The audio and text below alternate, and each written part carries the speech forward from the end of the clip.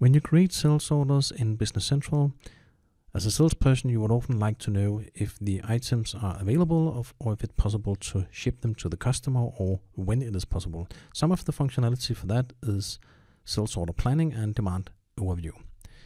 I've created a sales order here and I want to enter two line. First of all, line number, item number 1000, quantity of 80 on the date 25 of April. Now entering the quantity makes a pop-up occur in the header. And it says the available inventory is less than the entered quantity and I can click show details to see what this is about. So my available inventory is 73 and my shortage is 70 because I have other demands and I can see that there's no earliest availability date calculated so it's not possible easy to say when it's available. Let me make another line. Item number 1100 quantity of 32 and it pops up again.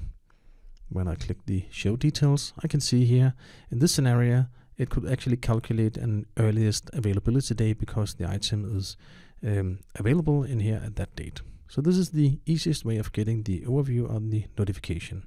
And from in here, I could also create a purchase order directly if I wanted to. Now those are both production items. The next functionality I have that I would like to show is on the action plan, demand overview and planning. The order promising is showed in another video that's a little more complex. The demand overview provides me an overview of the specific items on the sales order and I can see all the events here, see what is happening, what is my demand. So this provides me an overview, how many is reserved if I'm using reservation, etc. So this is a short overview of my demands and I can specify periods, etc. And I can also include to see all demand if I want to see depending demand, etc. So in this view with all demands, it's a little more complex, but it tells me what is happening, when is it happening, etc. That's my demand overview.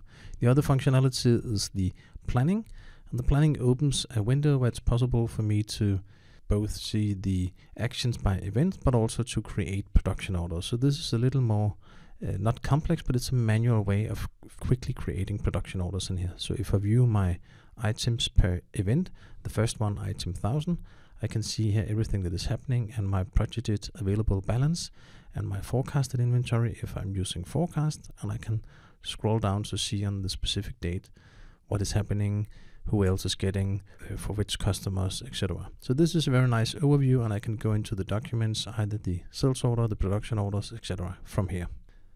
And I could do the same, of course, with the front wheel. And from here, I could also create production orders. So it's an easy way for me to get this nice overview and to manually quickly create a production order.